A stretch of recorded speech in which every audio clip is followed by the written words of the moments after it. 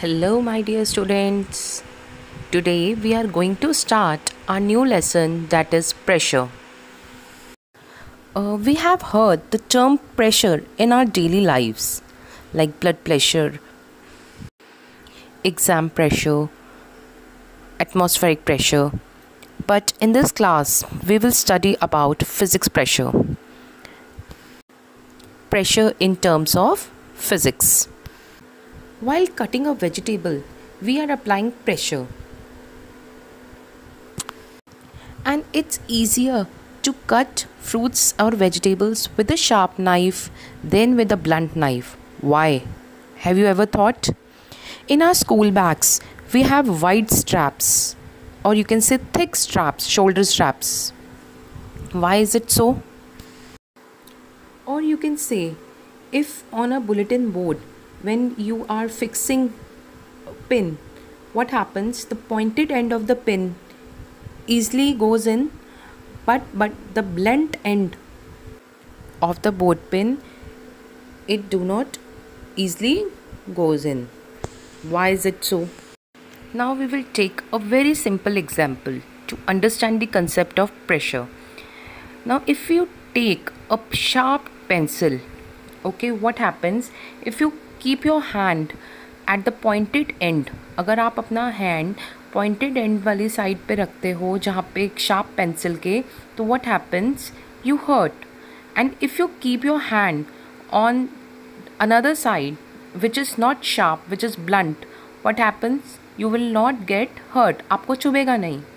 And if you apply same force on both from both the sides suppose आपने five newton force से pointed end वाली side से अपने hand में force लगाया। What happens you will hurt and same five newton आपने blunt side वाले से अपने हैंड पे फोर्स लगाया।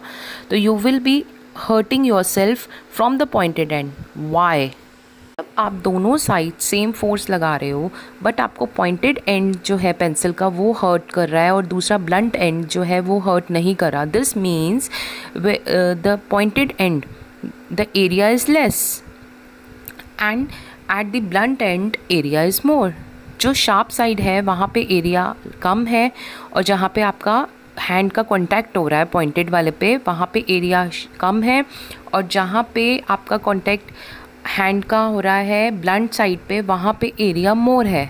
तो what does this shows if force is same if you are applying same force but pressure it depends upon area so we can say pressure comes into play तो what is pressure the force apply over a unit area is termed as pressure so है you can see what is pressure force per unit area means force upon area is it clear and the S I unit of pressure is pascal and here the force is in a perpendicular direction ninety degree पे force apply होना चाहिए.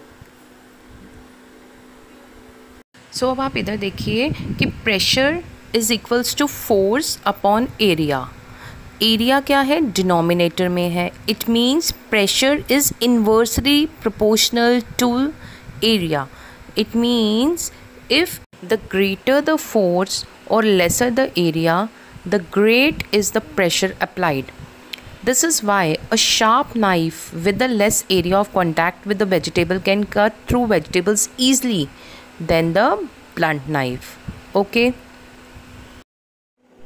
so what is pressure?